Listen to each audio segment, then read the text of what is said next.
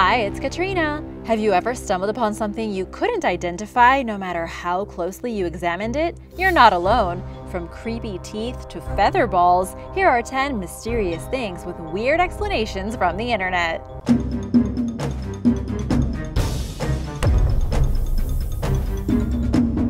Number 10. Terrifying teeth. Last year, images of what appeared to be a jaw with four large, knife-like teeth appeared on Reddit's What is this thing thread. Do you know what it is?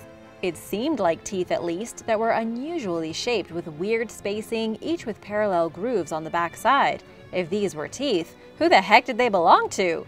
Users quickly piped in and solved the mystery. The lucky poster had found pharyngeal grass carp teeth. Tim Smith of the Missouri Department of Conservation also helped a curious finder identify a similar set of bones by consulting biologists from the agency's Fisheries Division, who immediately knew what they were. The grass carp is native to the coastal rivers of Siberia and China. Its genus name is Greek for comb-like throat teeth, owing to its pharyngeal teeth.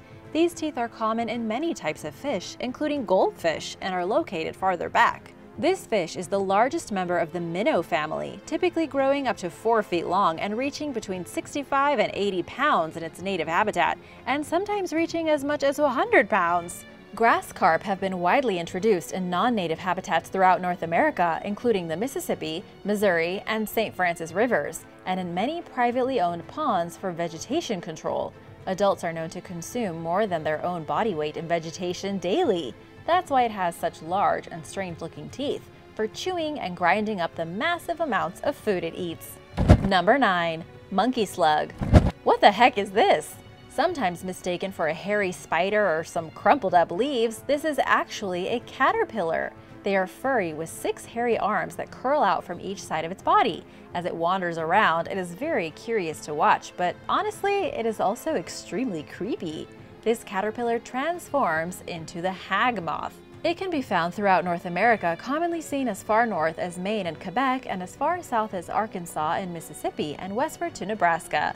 There's nothing particularly spectacular about an adult hag moth's appearance. Like many moth species, a fully grown specimen is relatively small, with an average wingspan of 1.2 inches. Males have translucent wings, while females are a drab brown color.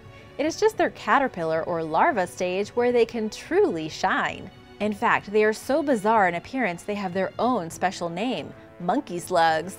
This furry, crawly creature can actually lose its arms if necessary without harming the larva.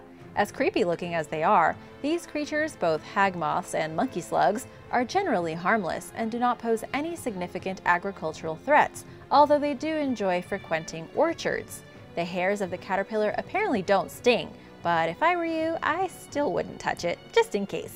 Number 8. Peculiar Pouches When Reddit user Slab Amberson found tiny multicolored pouches on the hood of their truck in the parking lot of a local park, they looked to the What is this thing thread for answers. The pouches seem to be filled with herbs. It smells like potpourri, they wrote, also mentioning later on in the comment thread that they were tied together with a white string. It turns out that the pouches are something called prayer ties, which are pouches full of tobacco and sometimes other herbs. According to Native American tradition, prayer ties are offered to the Great Spirit in exchange for blessings or healing. They are especially important to the Lakota, Seminole, and Cherokee people, among others. While Redditors helped figure out what the colorful pouches on the hood of Slab Amberson's truck were and provided some useful links for reference, why they were left there remains up for debate. I'm just still confused why it was left on my truck when that page says to leave it somewhere sacred and important to you, they commented. That part of the mystery remains unsolved. Perhaps it was just a well-wisher paying it forward by sending good blessings onto a stranger. Hey, I would take that. And now for number 7. But first, big shout out to Salish Pradhan who is new to this channel, and Suna Grimmel. Thanks guys! If you are new here, be sure to subscribe and join us. Number 7. Mysterious Truck Reddit user Eli Liam posted a photograph of a large, unmarked blue Mercedes-Benz truck decked out in a cab and fog lights and with a ladder and a white circle on the side, parked in front of a house and a mountain. Many who responded speculated that the image wasn't even real and that it was from a video game or a movie scene. One commenter speculated that at the very least it was a professional photograph. It was too pristine looking, Reddit user Hostley chimed in. Not just the vehicle, but the shadows, background, and everything looked CGI. Meanwhile, some people defended what they believed was the photo's authenticity. Looks real to me. Never seen a game where they put tire marks on the curbs and utility covers in the yard, wrote Deuterino18. User Randy Marsh77 cleared up at least some of the confusion by identifying the scenery in the background as Utah's Mount Timpanogos. Instead of participating in the back and forth about whether or not the image was taken by an amateur or a professional photographer, or whether it was even real, a few users identified this strange truck as a vehicle that actually exists, called a Mercedes Unimog.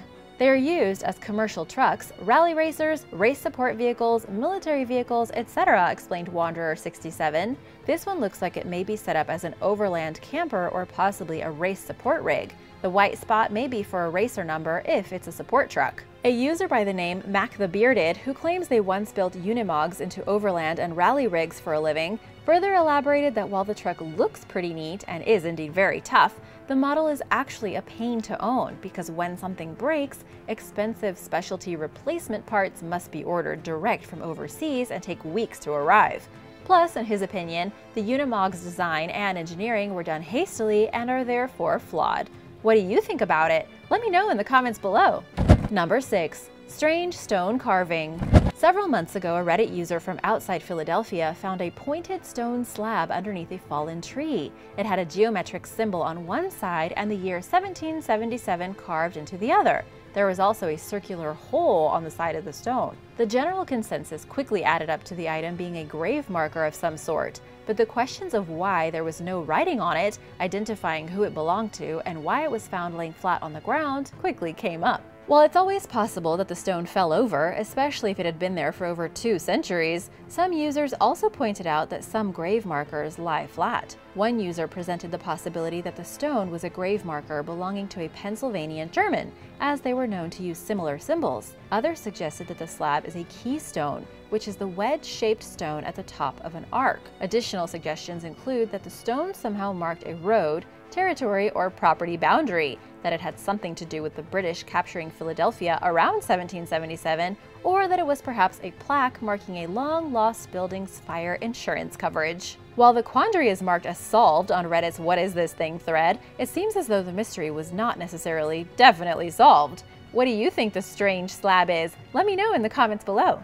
Number 5. Blue Gunk Burger. In July 2019, Reddit user Oak Toast posted a photo of a McDonald's double quarter pounder with cheese, as well as a crumbly blue substance that they described as having a chemical flavored taste. Naturally, they took to the What Is This Thing thread to try figuring out what was the alarming mystery substance that they had unintentionally ingested. In their description of the disturbing incident, Oak Toast explained that they bit into the sandwich before realizing that about half the burger patty was covered in blue gunk. This poor diner was so sickened by the situation they reportedly vomited shortly after, but possibly just due to the thought of consuming something disgusting like this. The post sparked a puzzling debate about what the substance could possibly be. It looks like it may be a grill cleaning sponge, one user commented. That looks more like the heavy blue bags they ship meat in, someone else said. Several users claiming to be former McDonald's employees remarked that the material strongly resembled the blue gloves the fast food chain's workers wear while handling meat. Others were repulsed by the mere fact that, in their opinion, whoever prepared the burger must have noticed that something was wrong with it. It's unknown whether the unfortunate customer who bought the sandwich filed a formal complaint or if the issue was ever resolved. Number 4. Weird structure in the forest. Sometime last year, someone discovered a cylindrical stone structure in a forest in southern Germany and sought help identifying it from fellow Redditors. The small capsule, which was about six and a half feet tall and had the year 1948 on the side, looked big enough to fit one or two people and had a door on the outside. While this would certainly be a shocking sight to happen upon during a leisurely stroll through the woods, the structure was quickly identified as something called a splitter schutzel, or a splinter protection cell, also called a one-man bunker, single shelter, fire guard booth, or air defense office. You take your pick. These strange buildings, which are usually cylindrical but are occasionally square-shaped, are made of reinforced concrete and are designed to hold up to two people. They were first designed and built during the Second World War for the German military and were primarily used for protection against splinters and other debris from explosions. As tough as splitter Schutzels look, however, they were not engineered to sustain direct hits. And while the one discovered by the perplexed Reddit user was built in 1948 after World War II, one commenter argued that it still makes sense as the Cold War was just heating up around this time. On the other hand, another user by the name of Under Pressure VS pointed out that the construction of these structures was explicitly banned following World War II, that it's odd for one to appear in the forest, and that 1948 was a tad early for the appearance of Cold War related items. While the mystery of what the structure is was solved, why it was there, who put it there, and the year plastered on the side present more questions than answers. Number 3. Metal Detector Mystery. While testing out their brand new metal detector one day in East Hampton, Connecticut, Reddit user FJ Cruzin found a rusty metal ring reading 1489 NY and NERR. It looked pretty old, and as it turned out, it was. Users noticed pretty quickly that the item had something to do with the New York and New England Railroad, hence the NY and NERR inscription. Metal luggage tags began being replaced with paper ones starting in the early 20th century, and this particular rail company only existed until the late 1800s, making the object well over a century old. But what was it? Suggestions included that maybe it had something to do with a post or a railroad tie, and these guesses were close. The item is an old baggage tag, they came in pairs, with one being attached to a passenger's luggage and the passenger retaining the other, making it easier to retrieve their baggage, and for railway workers to prevent, find, and identify lost baggage. This system proved so efficient it's still in use today, except with paper tags rather than metal ones. And while it may seem like it would be relatively easy to come across an old metal luggage tag, most were turned into scrap metal as railroads switched to paper tagging systems, making FJ Cruisin's discovery a rare find indeed. Number 2. Turtle Human While vacationing in Japan, a tourist who doesn't know how to read Japanese stumbled upon a bizarre display that more or less looked like a drawing of a human man drowning in an oversized rib cage with his arms in the air. The only English words on the sign read, How to Make a Turtle Human. The topic in question appeared on Reddit's WTF Japan thread and on various other websites, including Bored Panda, which explained that Japanese artist Satoshi Kawasaki created a book containing this strange illustration and others about what people would look like if they possessed the skeletal structures of certain animals, including turtles. In fact, the turtle drawing was upvoted as the number one best illustration out of Kawasaki's book on Bored Panda. Other drawings include a human horse, flamingo, penguin, rabbit, elephant, and humans with a variety of front limbs adapted for diverse environments like wings, claws, and hooves. This might seem like a rather far-flung concept to anyone who's unfamiliar with Kawasaki's work, but the artist has a reputation for being imaginative and a tad on the eccentric side, making this project right up his alley. Number 1. Weird Feather Ball. Around three months ago, Reddit user DFB Jam posted a photograph of a perfectly round ball of feathers on the birdwatching thread, which they spotted in a field near their home. Other similar objects have appeared on Reddit's What is this thing thread. So, what is it then? The short version of the answer to that burning question is that it's bird barf. It's something a predatory bird spat out. More specifically, before a predatory bird, such as a hawk, eats another bird, they sometimes strip it of its feathers. They do this by using their beak to yank swathes of feathers off from the bird's breast, according to Reddit user Flies, who helped solve the mystery.